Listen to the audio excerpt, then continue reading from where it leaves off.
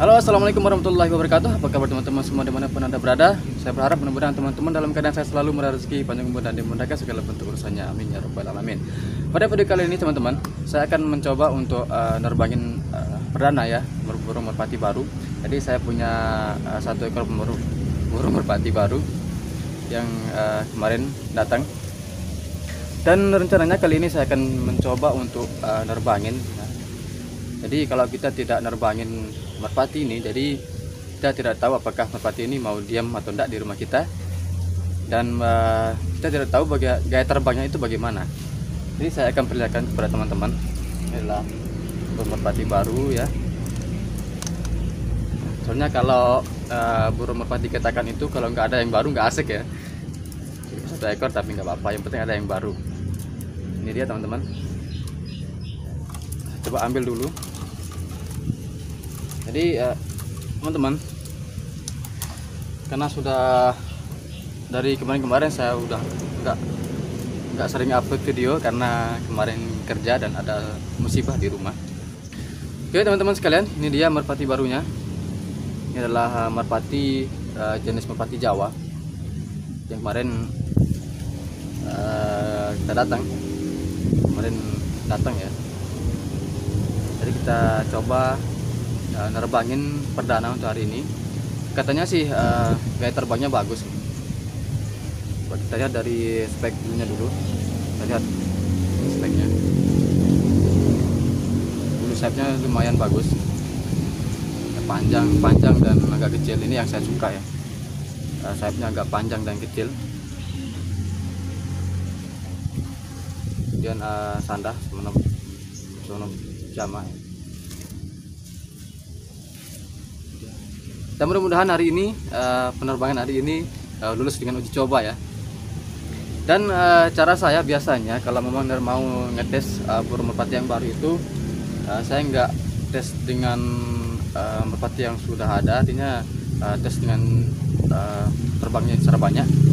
Tapi biasanya saya nerbangin kalau ngetes itu dengan bitinanya kebetulan juga jika saya masukin ke ke kandang langsung uh, berjodoh ya. Berjodoh jadi kita coba terbangin dengan betinanya yang ini.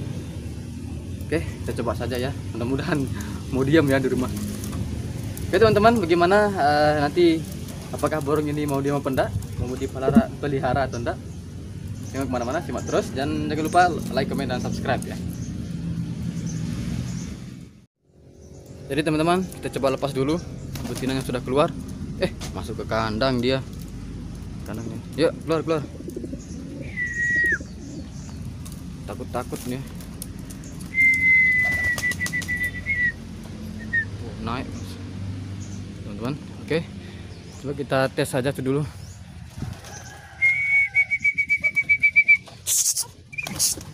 Wih. Nah. Carikan saja dulu di sana teman-teman. Biar uh, mengetahui tempat atapnya. Biar lebih mengenal rumahnya dulu. Eh, malah sudah sini lagi. Malum teman-teman, soalnya kalau begini saya jodohkan di sini. Jadi mau masuk ke kandang terus. Coba getak ya.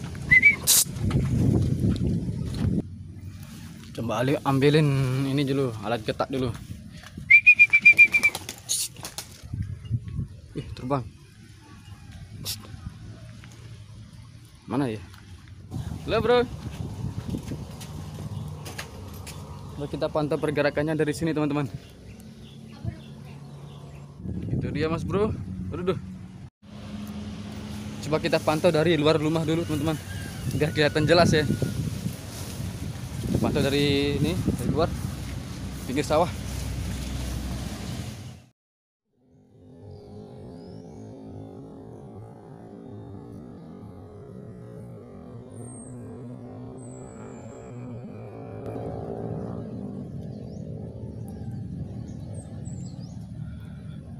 Oke teman-teman.